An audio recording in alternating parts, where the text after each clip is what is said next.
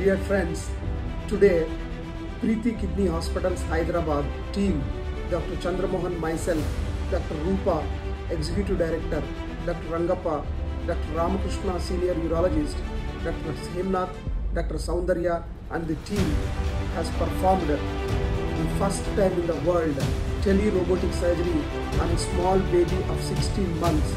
The surgery is robotic pyeloplasty.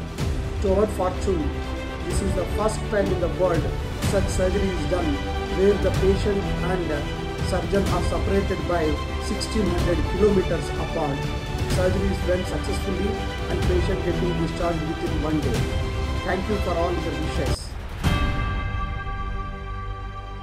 Global first, doctors in India have performed pediatric pyeloplasty telesurgery on a 16-month-old child using the indigenously built Mantra 3 robotic system bridging a 1550 kilometers.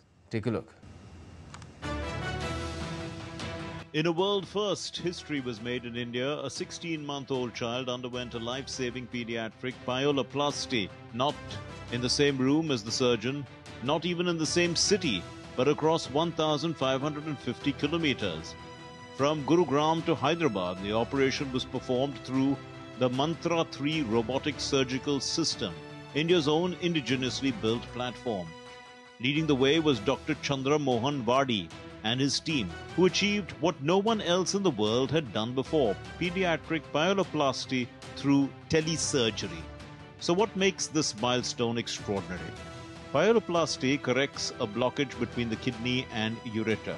In infants, even the tiniest error can risk long term kidney damage.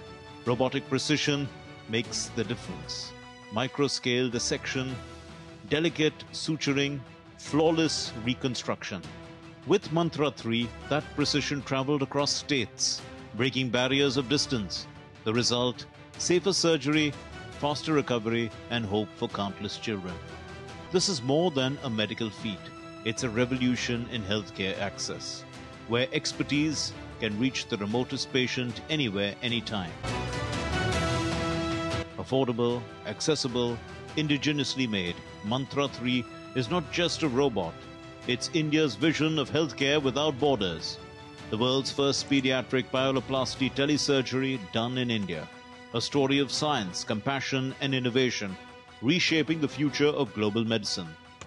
Tapas Bhattacharya's report for DD India.